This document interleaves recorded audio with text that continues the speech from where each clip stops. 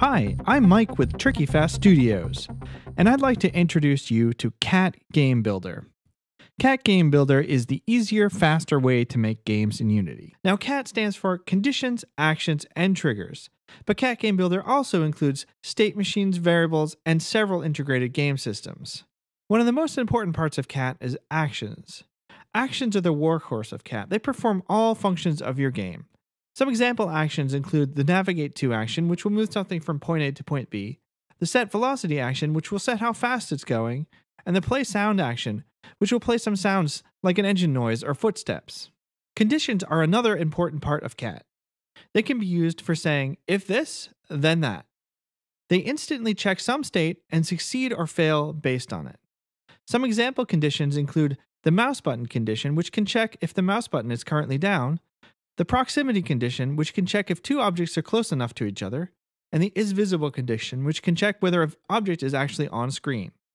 The T in CAT stands for triggers. Triggers are like conditions that are either on or off depending on the state they're watching. Some example triggers include the button trigger, which watches a button, and whenever the button is pressed, it fires. The keyboard trigger watches a key, and whenever the key is pressed, it fires. Then there's the collision trigger, which watches for collisions between one object and another, and when that happens, it fires. To tie this all together, CAT uses state machines. State machines contain multiple states, and each state describes a behavior. An example of states include the walk state, the jump state, or the attack state. States can use conditions, actions, and triggers to define what their behavior is. Variables in CAT are handled by the value system.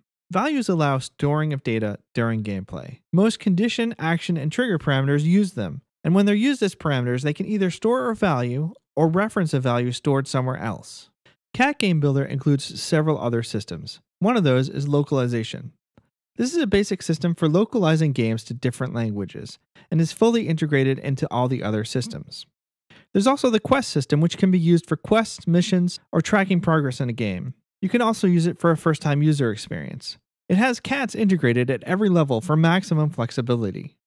The storage system can be used to save game state between sessions. It's integrated into state machines, values, quests, and all other systems.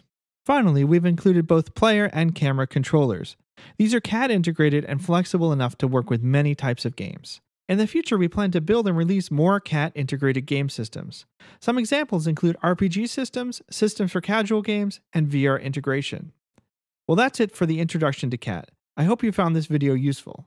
For more information on CAT and how it can help you prototype and build games faster, please visit trickyfast.com/cat. I'm Mike Handberger with Tricky Fast Studios. Thanks for watching.